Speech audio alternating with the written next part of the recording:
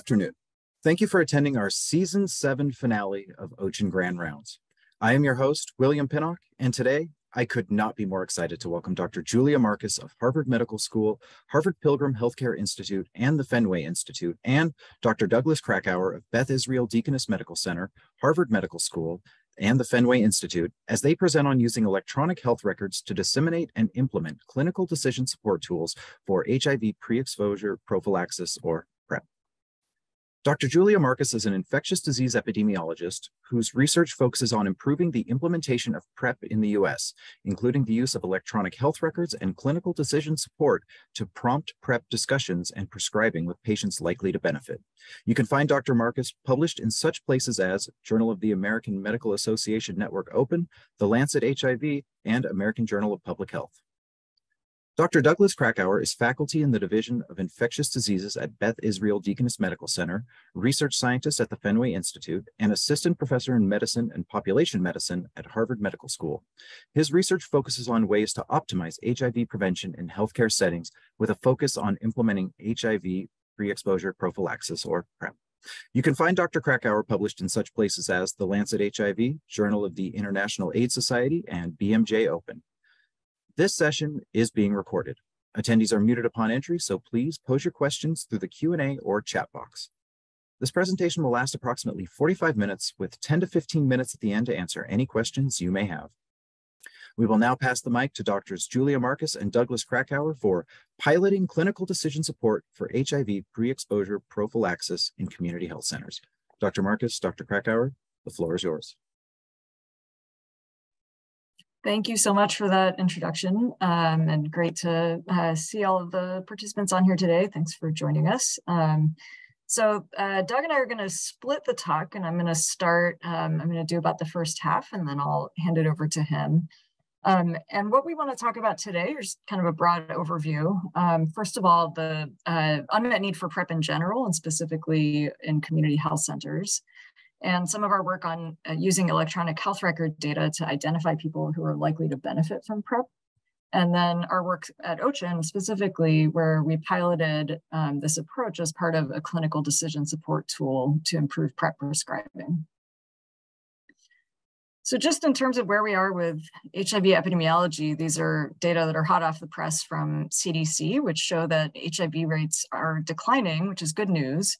Um, but we're still seeing about 32,000 infections annually, and rates are not declining as steeply as they need to be to hit um, national targets. Um, and also, I think a, a, kind of key part of the story for um, both HIV incidence and for PrEP use is these really stark racial and ethnic disparities that you see here. Um, so HIV is uh, continuing to disproportionately impact um, men who have sex with men, and Black and Latino populations, including Black women. Um, so just a very quick background on PrEP. Um, this is the use of antiretroviral medications as prevention. Um, and these are medications that can be used for treatment. Um, and about a decade ago, were shown to work for prevention as well. And um, here, this shows take it once a day to stay HIV negative, and now there are actually other ways to take it. Um, but uh, for, for, the most part, for everybody, um, it can work once a day. And then for men who have sex with men, um, there's uh, different regimens that can be used. And now we have a new injectable PrEP formulation. Um, and uh, and this is a, a, about a decade ago when this was first shown to be effective, there were a lot of questions about how this was going to work in the real world um, because of uh, kind of questionable uh, results in clinical trials where people had not been uh, uh, consistently adherent to the medication. But it turned out that in clinical practice, it's actually very, very effective. Um, these are data from Kaiser Permanente looking at STIs and HIV and people who were using PrEP and based on very high rates of STIs, um, but no HIV infection, um, that, that was suggestive that actually this was really working quite well in the real world. And with the most updated data, um, at Kaiser, there are over 9,000 person years of PrEP use and still no HIV infections. And so um, this really is a, a highly potent tool um, that could really curb the HIV epidemic if implemented um, broadly and equitably. So the CDC now concludes that oral PrEP is um, at least 99% effective for men who have sex with men and for heterosexual men and women. and 74 to 84% effective for people who inject drugs in whom there has been um, less research and far less use of PrEP. And as I mentioned, there's now um, multiple PrEP product options. Um, there's uh, Truvada, and this is a, a, daily pill that can be used in all populations. And I'm not going to go through all the clinical details here, um, but this is now available as a generic um, and again can be used in everyone. Um, and then there's Descovy, which uh, has only been tested in men who have sex with men and transgender women.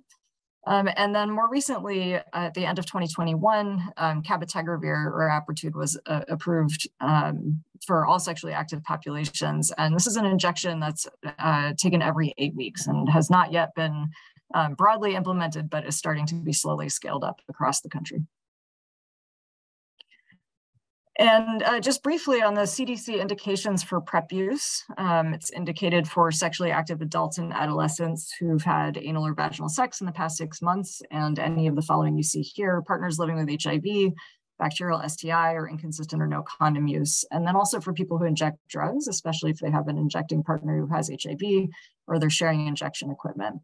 And the CDC specifies that, that actually anybody who asks for PrEP um, is indicated for PrEP with the understanding that not everybody is going to want to share um, their uh, behaviors with clinicians. And so um, we can just assume that if somebody's asking for PrEP, they have a reason to be um, on it.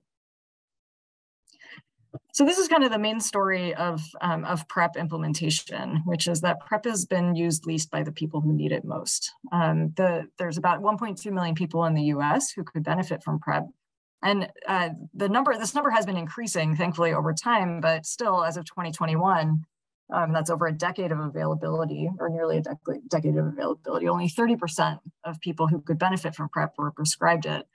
And um, there are some of the, the uh, widest disparities, racial and ethnic disparities um, that you know you see in public health interventions. Um, you see them for PrEP here um, with white of, of, white people who could benefit, 78% were prescribed PrEP in 2021, and only 11% of Black or African American people, and 21% of Hispanic or Latino people. And so, as a result of um, this, you know, somewhat limited uptake, and especially the inequities in use, we see some suggestion that PrEP is having a population level impact, but it is not um, as robust as it could be. Um, so at a state level, we see modest associations between PrEP coverage and reduced HIV diagnoses. And then in regions or groups that have very high PrEP coverage, we do see um, larger decreases in HIV incidence. And so this tells us that PrEP really does have the potential to curb the HIV epidemic, um, and certainly is highly effective on an individual level, but its population level benefits have not yet been fully realized because it has not been rolled out as broadly as it needs to be, particularly for marginalized populations. So um, with that in mind, um, in 2019, the federal government launched the Ending the HIV Epidemic Initiative. And um, this is an ambitious initiative to reduce HIV incidence by 75% by 2025 and by 90% by 2030.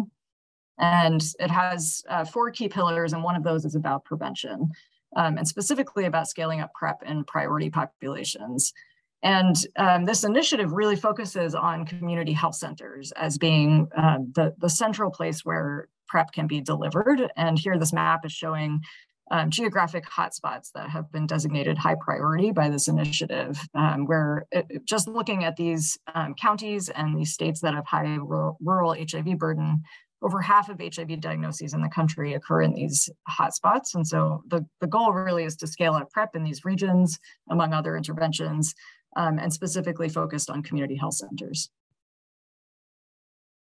So one of the key barriers in um, community health centers and really all primary care settings is the lack of PrEP discussions in primary care. They just have not been routinized. Um, and thankfully the CDC in 2021 revised their guidelines such that instead of saying discuss PrEP with people at substantial risk of HIV, it's now recommended to discuss PrEP with all sexually active people. But there's really a long way to go before that actually happens in primary care. And in one study looking at chart reviews, 94% um, of PrEP discussions were initiated by patients. So Um, what are the barriers here? Um, providers, of course, report time constraints and competing priorities, um, particularly in primary care, where there, are um, conditions that are going to be much more common than HIV, and HIV is not going to be front of mind. Um, some clinicians report limited PrEP knowledge. Um, some have discomfort talking about um, sex or substance use, and there's some biases that can come up around those um, around those things, and also around race that can kind of compound those biases. Um, and, and then also difficulty identifying patients likely to benefit. Um, it's not always easy to know who's at risk of HIV, especially if those conversations about sexual health and substance use are, are not happening to begin with. And so um, the CDC and others have put together um, risk prediction tools for HIV to try to help clinicians identify who might benefit from PrEP. And this is one example called the MSM Risk Index that asks uh, just a handful of questions about age, recent partners, um, HIV status of partners, condom use, and methamphetamine use. But these tools have some limitations. Um, so first of all, they're only used if that um, sexual history or substance use discussion happens first.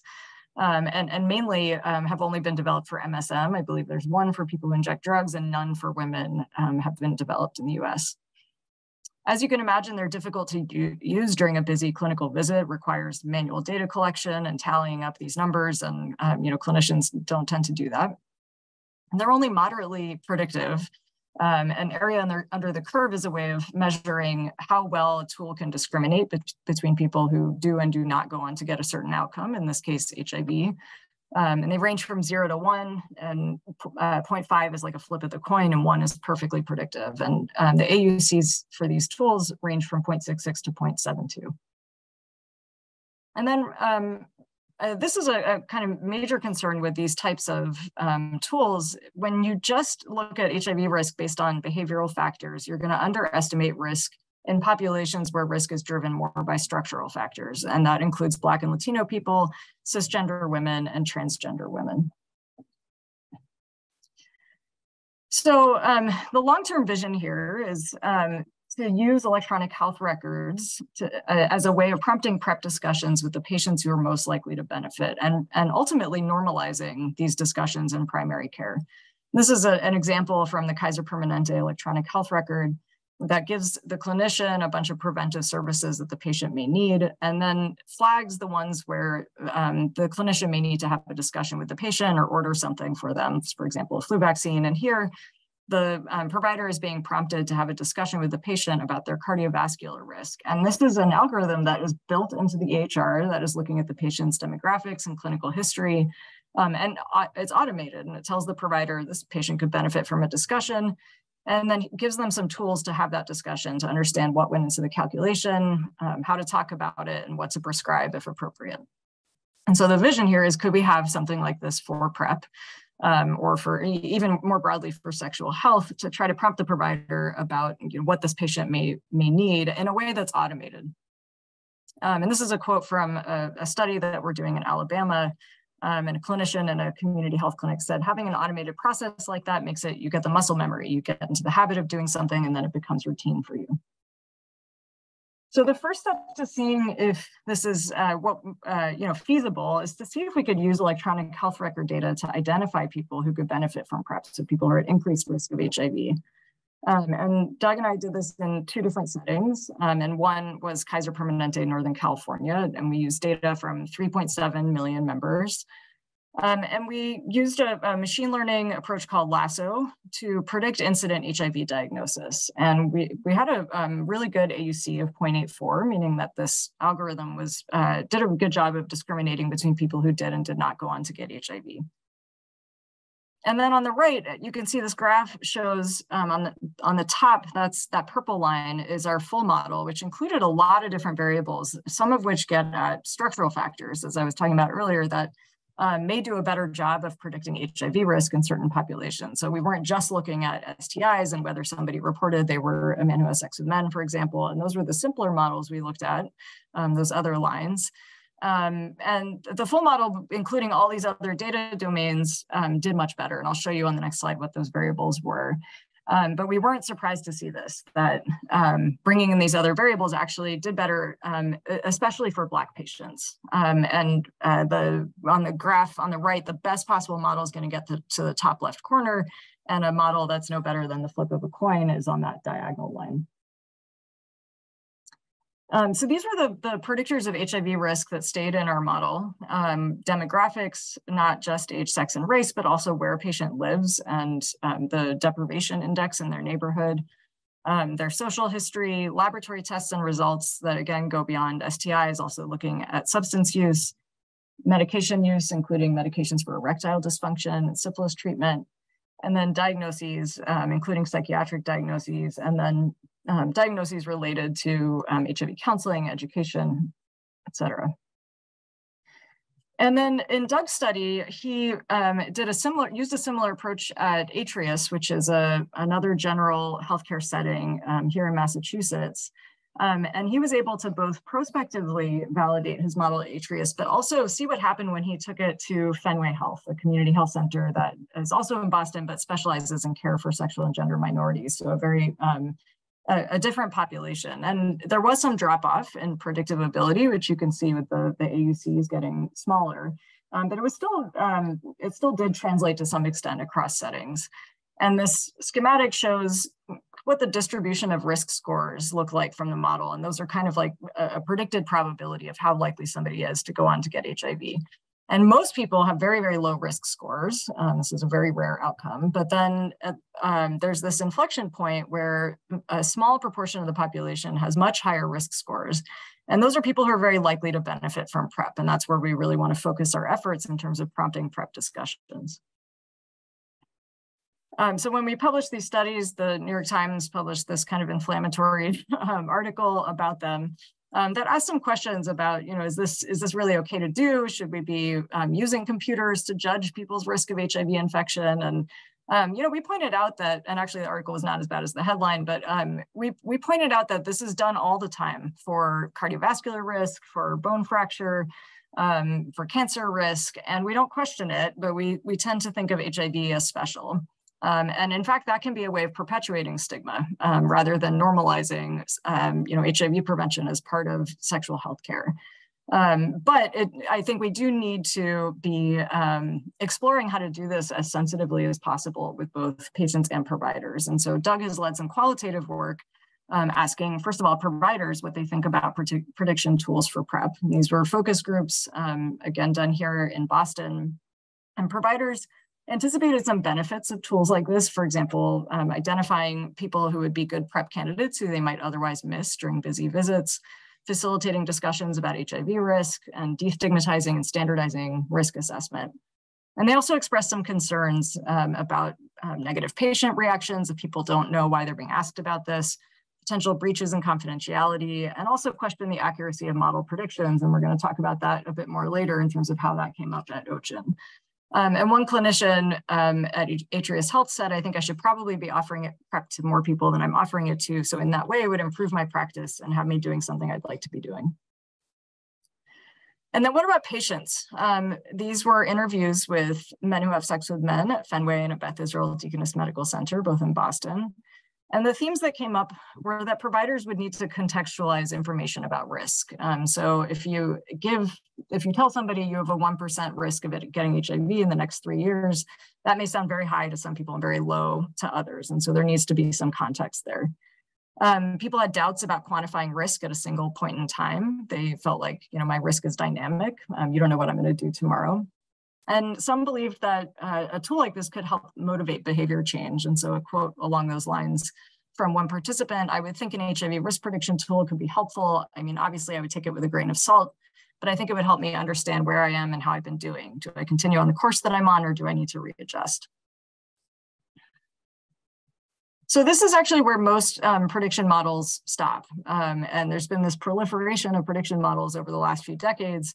And most of them sit on the shelf. There's very little prediction model implementation. Um, and there may be reasons for that. It's not easy, um, but we wanted to, to move forward with this in part because the USPSTF has really noted this approach as being um, potentially beneficial for PrEP provision. So they, they gave um, PrEP a grade, grade A recommendation, and as part of that, they do a systematic review of the evidence on PrEP, and they're currently updating it.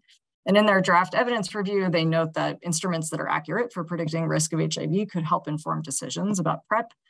Um, and they specifically um, point to our two models as these two new instruments that uh, had moderate to high discrimination for predicting incident HIV, and they call for more research on this. And they say specifically that um, we need to evaluate the impact of these algorithms. Um, and so that's what brings us um, to OCHIN. Um, and this was a pilot study that we are close to wrapping up called the PREDICT study, where we were piloting clinical decision support for PrEP in the OCHIN network in, in a way that in integrated a prediction modeling approach that I just described.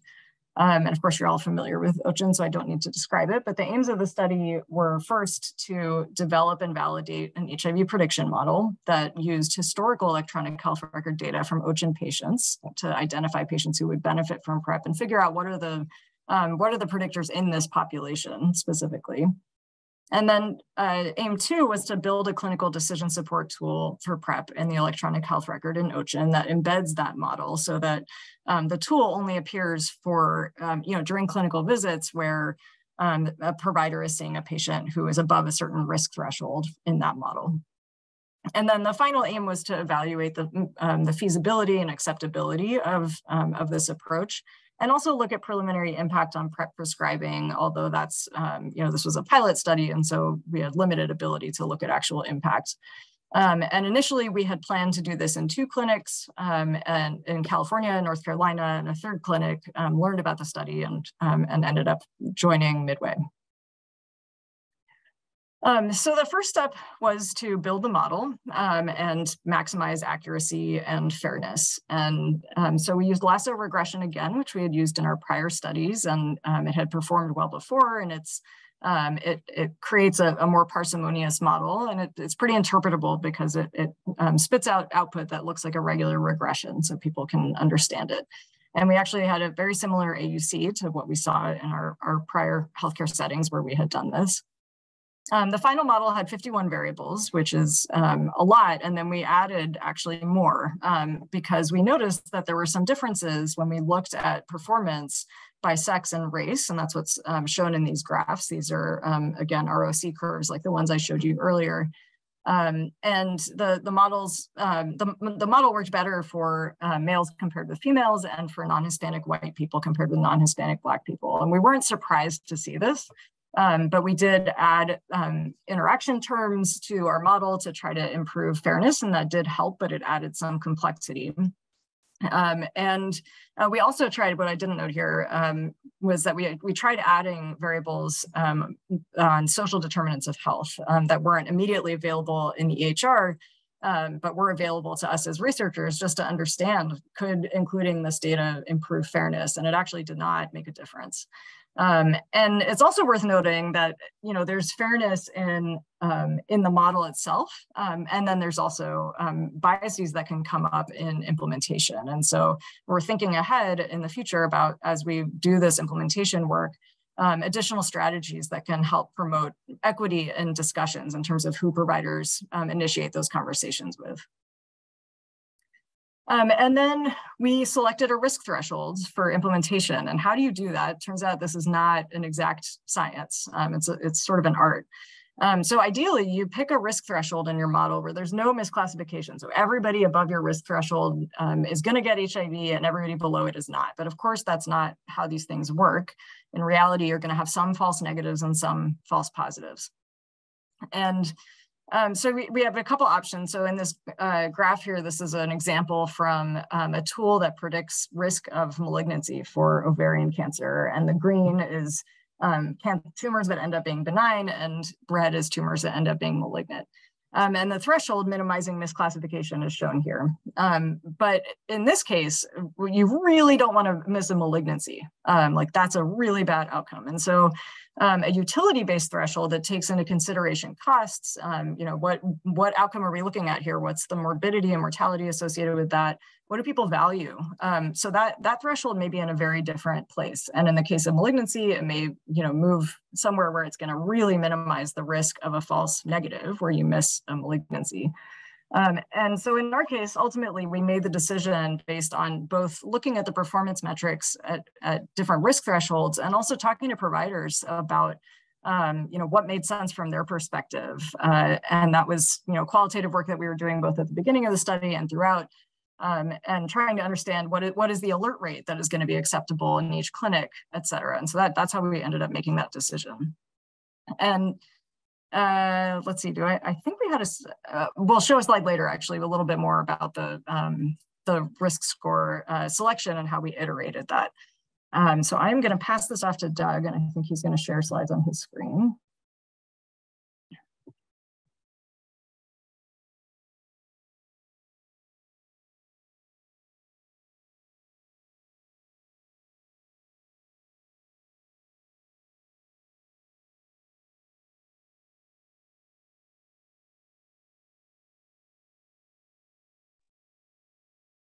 Okay, great. Thank you, Julia.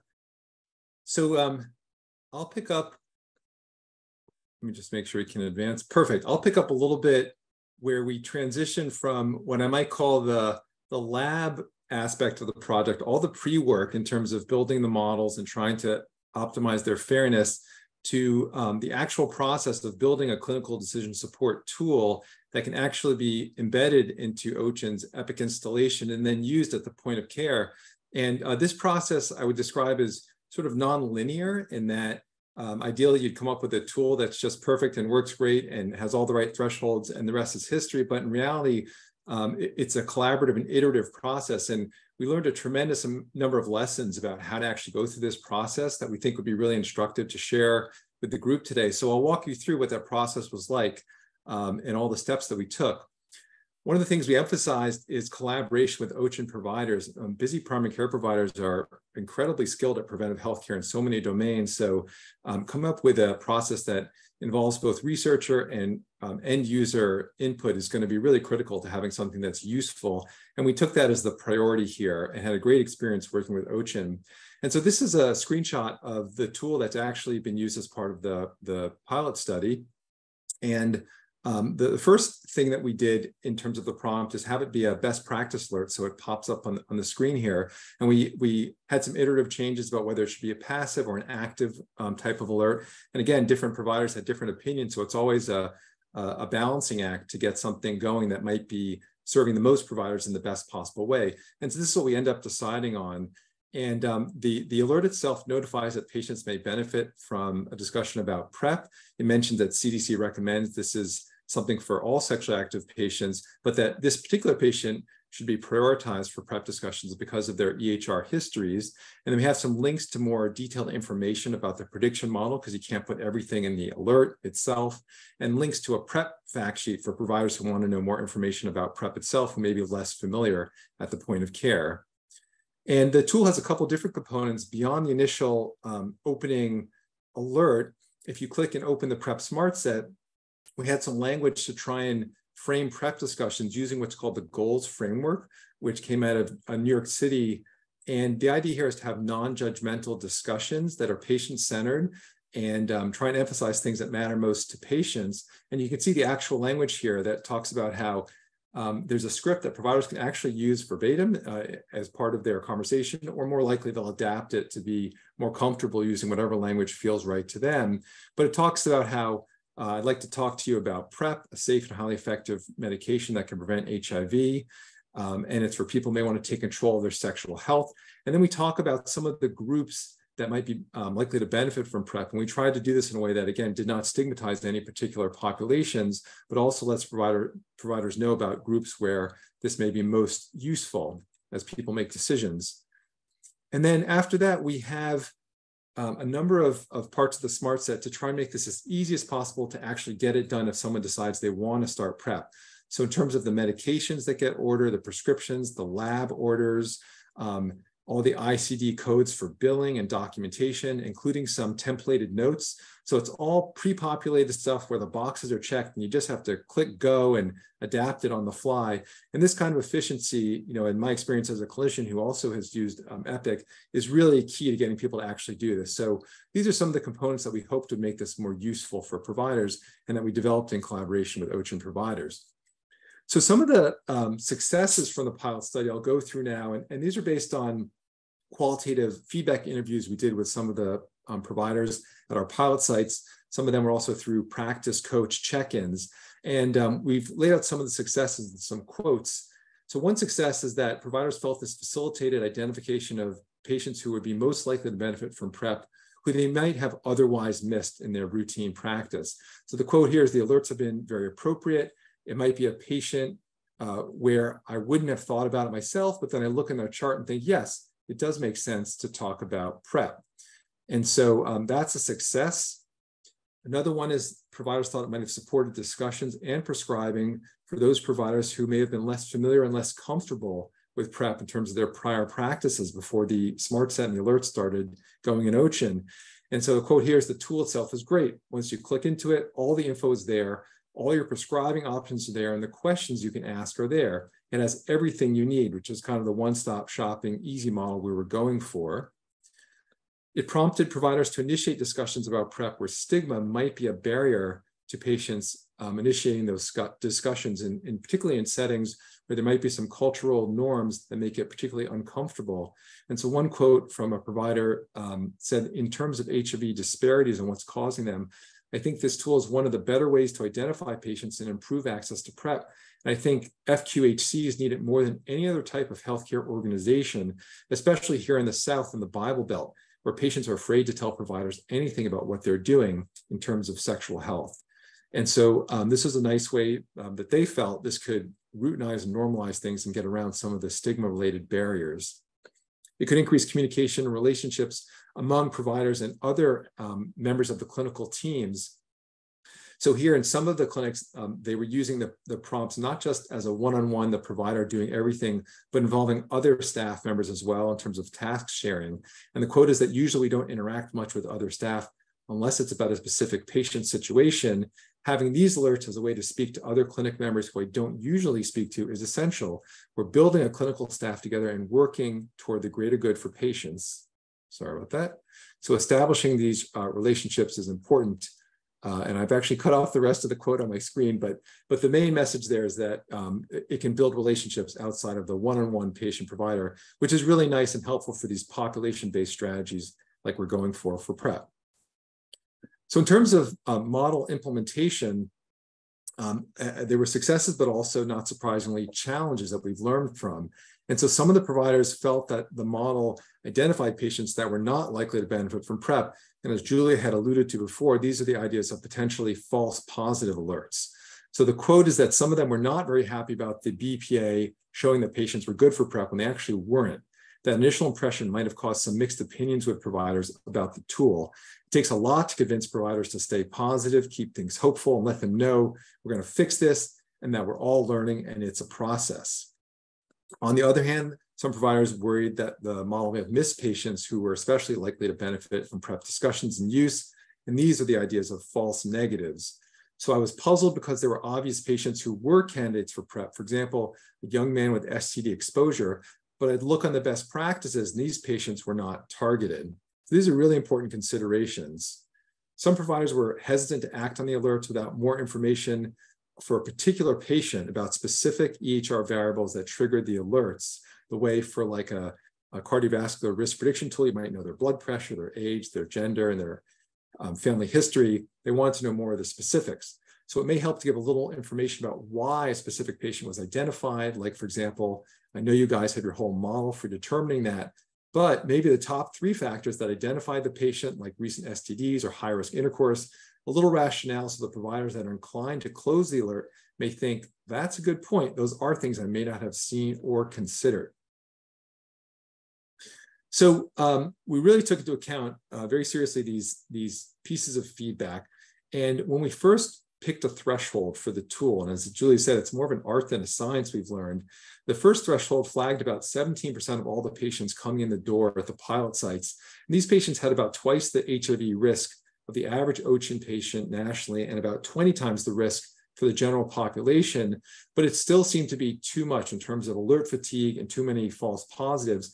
So in collaboration with providers, we adjusted things and the new threshold flagged about two to five um, percent of, of patients overall. And um, this seemed to be you know, much more suitable in terms of alert fatigue and, and balancing the false negative issue. And so the new threshold had about um, uh, identified patients who had about 15 times the HIV risk of the average ocean, OCHIN patient and about 100 times the risk of the general US population. And that's what we moved forward with. It seemed like a better balance. So one of the things we learned um, from this study here is the concept of trying to expand how providers make clinical decisions about who would be a good candidate for PrEP beyond the traditional heuristics. And I'll give you an example that, that came out of the study. This is a real conversation we had with one of the OCHIN providers there was an alert from the model on a 46 year old cisgender female um, who was married to a male partner, had drinking of alcohol in uh, her health record, lives in Los Angeles and identifies as Latina, and had a herpes simplex virus HSV type 2 diagnosis a few years ago. And the question that came up should clinicians prioritize a PrEP discussion for this particular patient? And um, if you think about how um, providers usually make decisions about these discussions. It's often based on heuristics, which are cognitive mental shortcuts, which are fast, often unconscious and automatic. And they're very helpful for making fast everyday decisions in clinical medicine, but they can be error prone.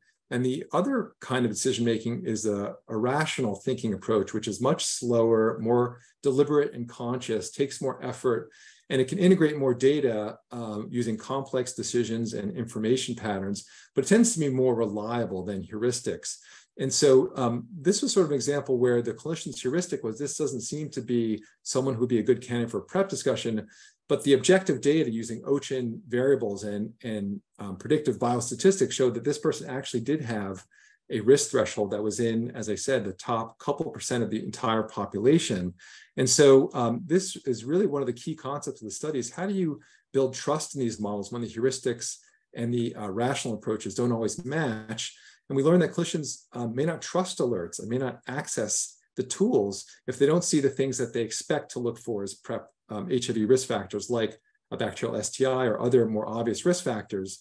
And um, the reason we think it's so important to grapple with this um, issue is that we went back and looked in OCHIN at um, the population of people who had incident HIV diagnoses, and there were over 6,000 that we used to develop the model before the implementation of the study.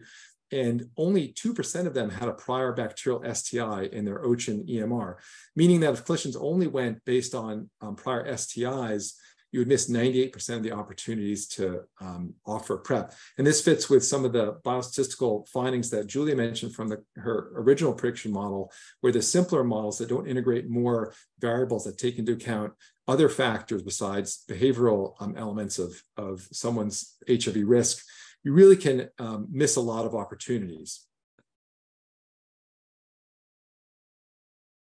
So one of the things that we tried to do was to um, ultimately integrate both provider heuristics, which are, are not without great value, and also are things that providers trust in terms of, you know, in their gut sense and in their bones. Um, and integrate those with reducing concerns about false negatives. So we ended up um, developing what's called a blended model.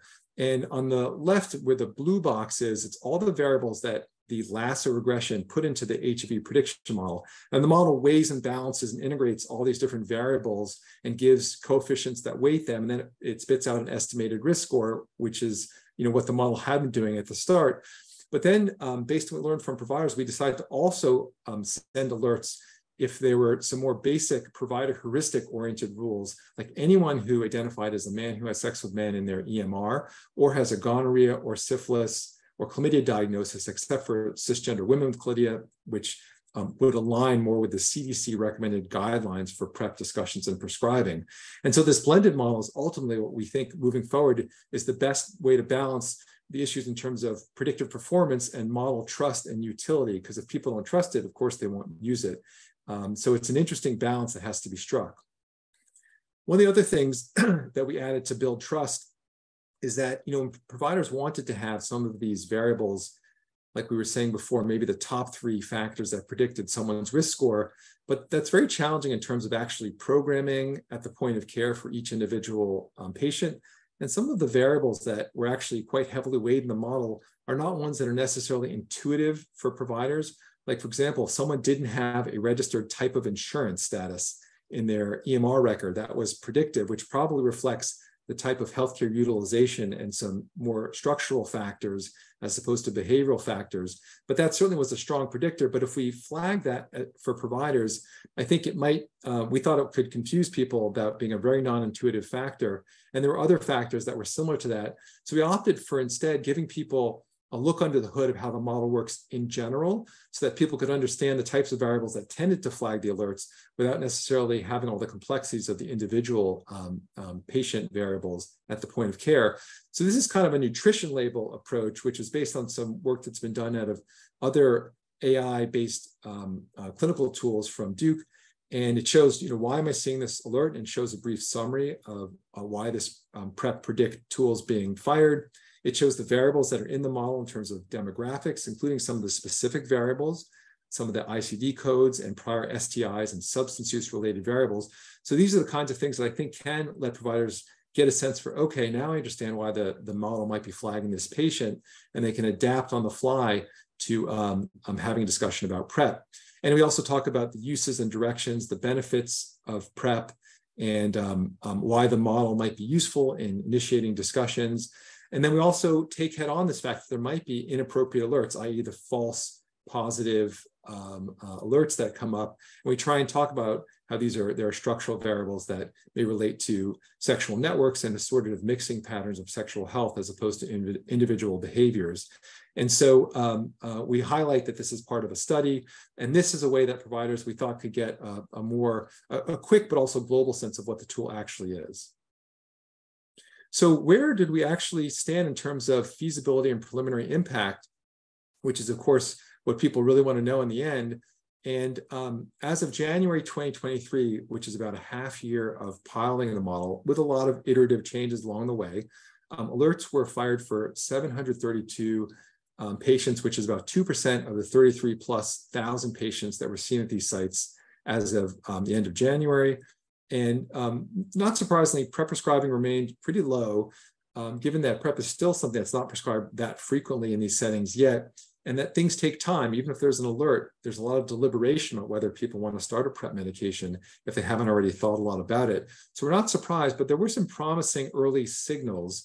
We saw a four and a half fold higher rates of PrEP prescribing in intervention clinics versus control clinics in OCHIN, um, even though the rates were low and um, and then a five and a half percent increase in HIV testing per hundred patients. And with that, I would like to thank Doctors Marcus and Krakower for closing out our season seven of OCHIN Grand Rounds with that fabulous presentation.